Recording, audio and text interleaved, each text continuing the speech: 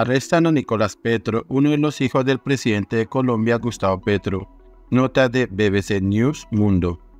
Reacción BBC News Mundo. La Fiscalía General de Colombia informó este sábado el arresto de Nicolás Petro, diputado de la ciudad de Barranquilla y primogénito del actual presidente del país, Gustavo Petro Rego. Nicolás Petro estaba siendo investigado por la Fiscalía por los delitos de lavado de activos e enriquecimiento ilícito.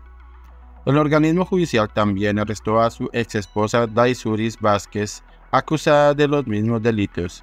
De acuerdo al comunicado dado a conocer por la Fiscalía, tanto Nicolás Petro como su expareja fueron puestos a disposición de un juez de garantías donde se les formulará la imputación de los delitos de los que se les acusa. El caso de Nicolás Petro habría comenzado en marzo de este año cuando Vázquez lo acusó de haber recibido dinero de carteles de la droga para financiar la campaña presidencial de su padre. En una entrevista con la publicación Semana, Vázquez señaló a Nicolás Petro de recibir mil millones de pesos, 250 mil dólares para la campaña, los cuales dijo no reportó en las cuentas oficiales sino que se los quedó. Vázquez también acusó a un hermano del mandatario Juan Fernando Petro de recibir dinero de presos a cambio de beneficios judiciales. Con las declaraciones hechas por Vázquez, el presidente Gustavo Petro le pidió a la fiscalía que iniciara una investigación, la cual condujo a los arrestos de este sábado.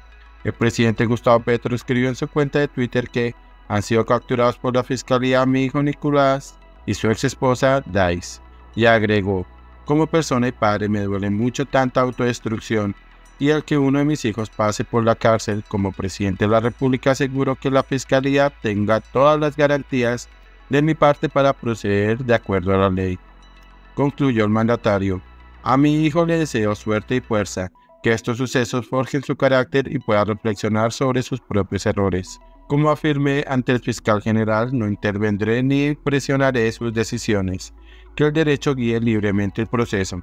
Tanto Nicolás como su tío han negado haber recibido ese dinero y muchos menos de los carteles de la droga. Los otros familiares. La fiscalía también está investigando a otros miembros de la familia del mandatario. El caso de Juan Fernando Petro, hermano del presidente, tiene que ver por supuestamente haber recibido pagos de personas en prisión a cambio de ser incluidos en las negociaciones de paz que está adelantando el gobierno. Durante la campaña se presentaron reportes de visita de Juan Fernando Petro a distintas prisiones del país que generaron las críticas de los rivales políticos del presidente colombiano.